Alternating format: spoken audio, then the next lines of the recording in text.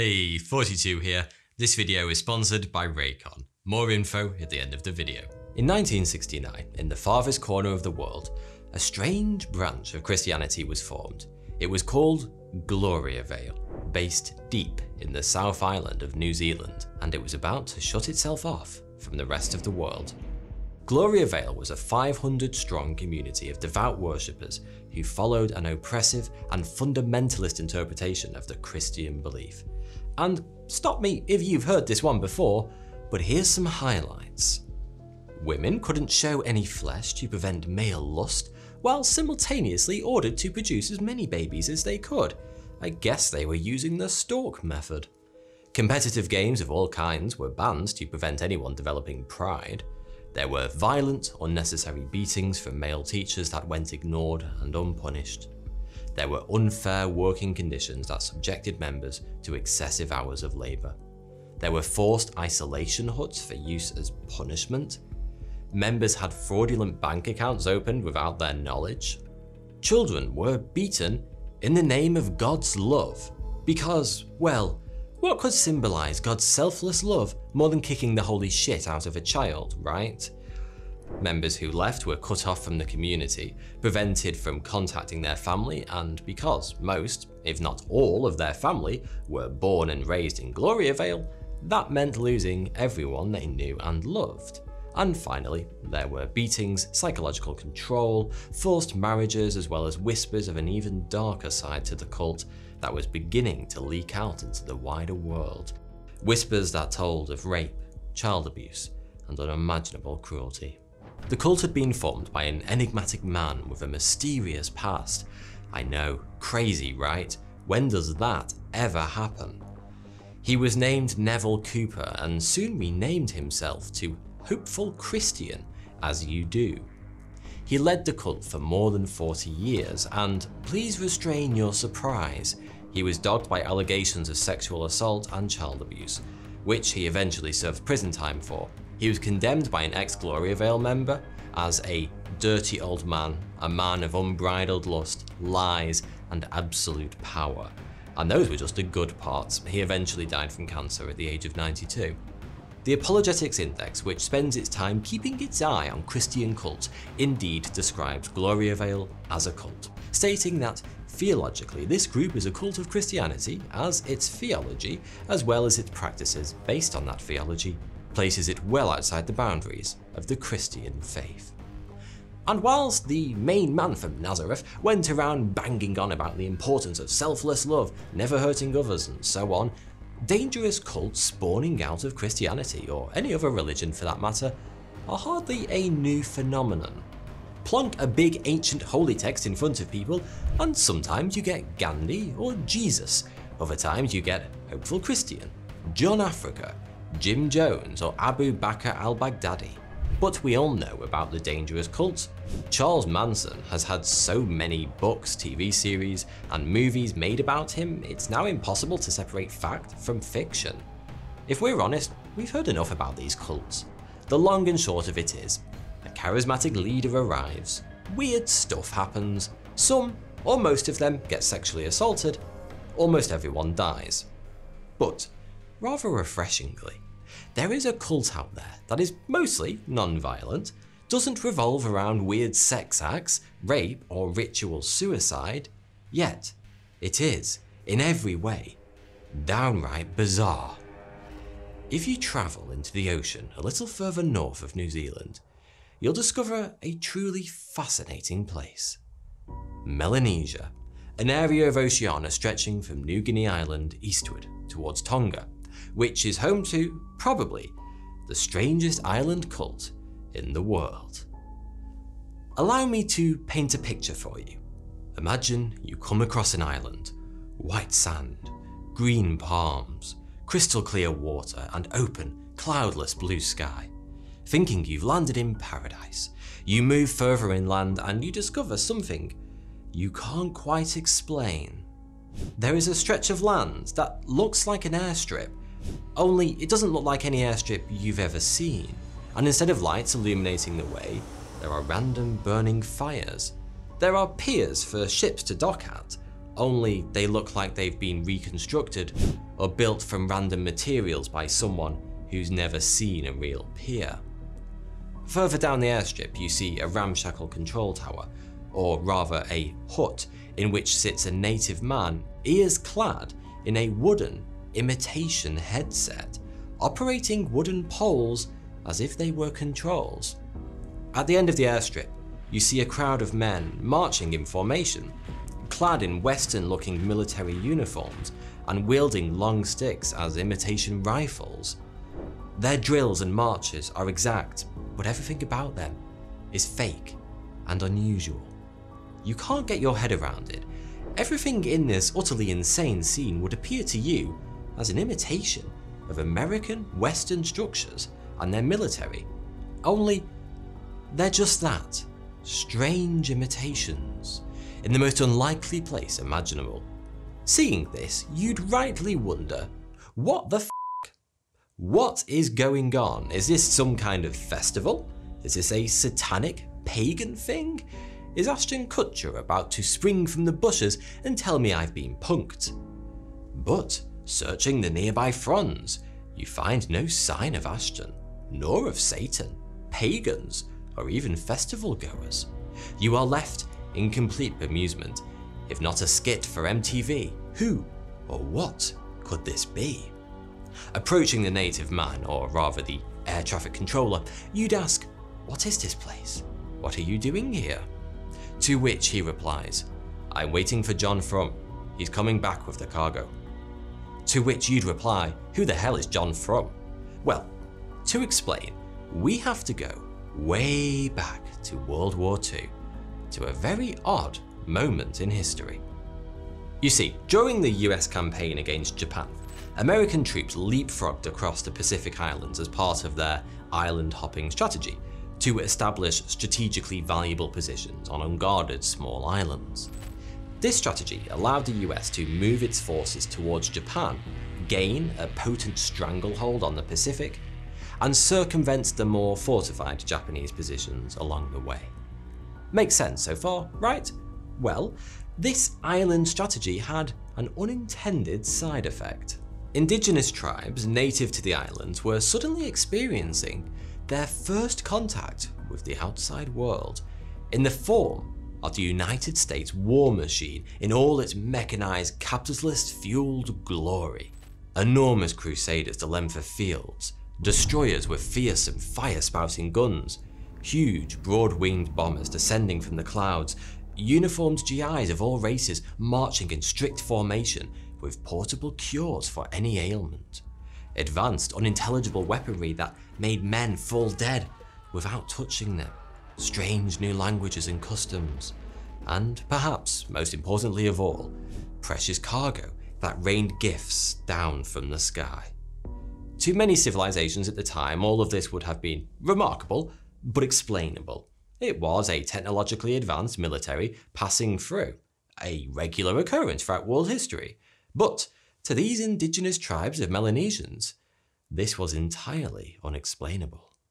As the great science fiction author Arthur C. Clarke put it, any sufficiently advanced technology is indistinguishable from magic. And that's exactly what these tribes thought it was magic. It wasn't long before cults began to emerge, worshipping this ostensibly magical advanced civilization and the goods they brought with them.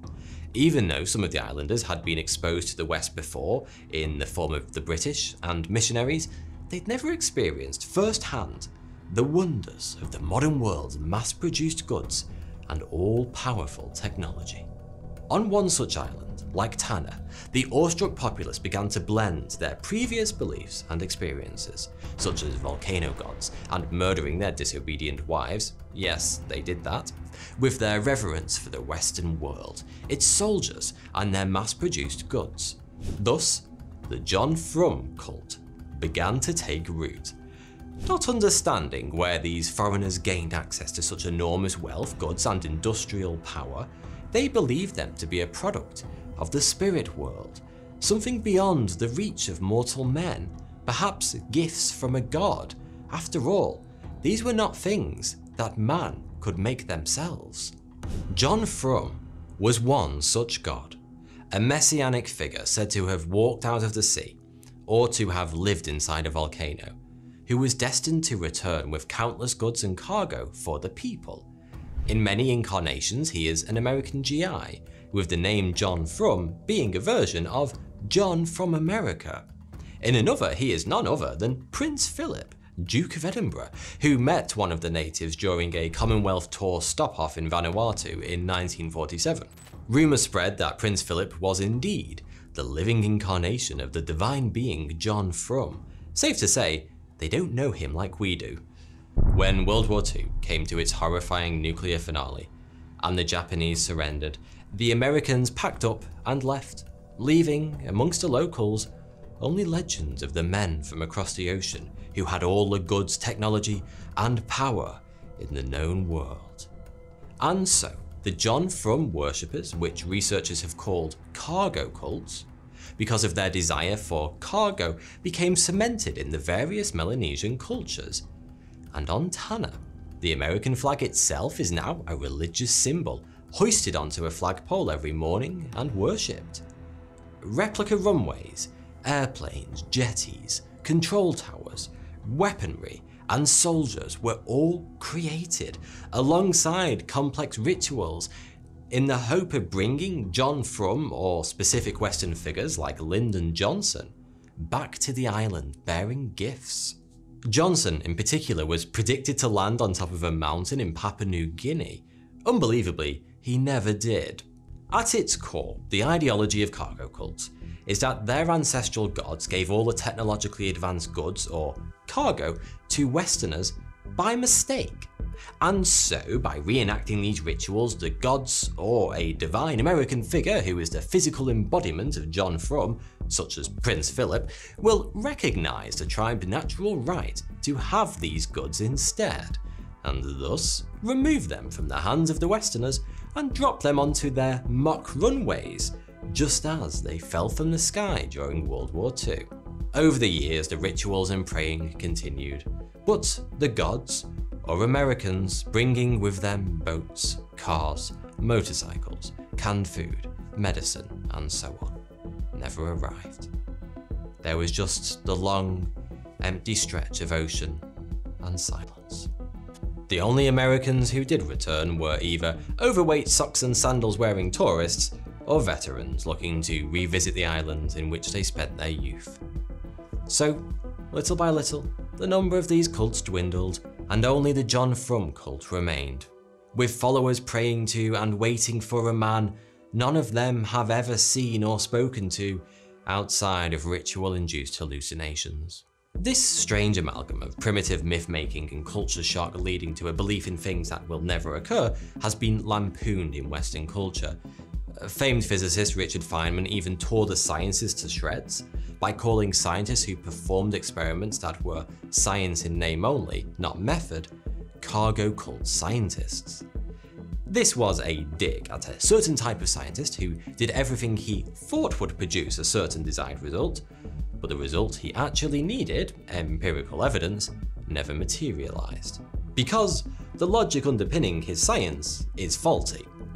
Culturally, cargo cults make a lot of sense. Indigenous Melanesian societies were typically dominated by big men who use gifts and wealth to gain prestige. The more wealth he could give to his people, the more influence he had, and the more power he had. The men who couldn't match this were known as rubbish men, and so when faced with a foreign or in many respects alien civilization, with access to endless material wealth and goods, is it any surprise that many indigenous Melanesian cultures turned into cargo cults? After all, who could be a bigger big man than these all-powerful Americans. Compared to the Americans, the previous big men of the tribe amounted to nothing. They were like insects compared to gods, an embarrassment to their people. From there, it is a short step to worship and the false hope that their ancestral strength will return one day. Their belief extends even into the incorporation of Christian symbols in military activity Crosses are used on grave markers, and believers even stage complex marches and drills with imitation firearms made out of sticks. Western military insignias and national symbols painted on their bodies, all for the express purpose of attracting the cargo and its herald, John Frum.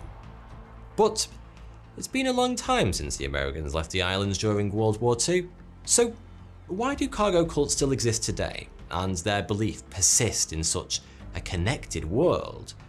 One cynical view is that the cults were set up and persist through the power of maligned big men who are running a scam on the vulnerable and susceptible population. This theory would hold weight when compared to the general trends of cults around the world, this theory is also ramified by the fact that most cargo cults exist outside of authorities and developed towns, meaning information contrary to the cult's teachings is prohibitively difficult to access. Another view is that these cults are a result of relative deprivation, where one society has far less than another. When confronted with a society that had access to such enormous wealth and prosperity, the indigenous people focused on these goods, particularly cargo which rained from the sky, as the truest expression of power, prestige, personhood, and freedom.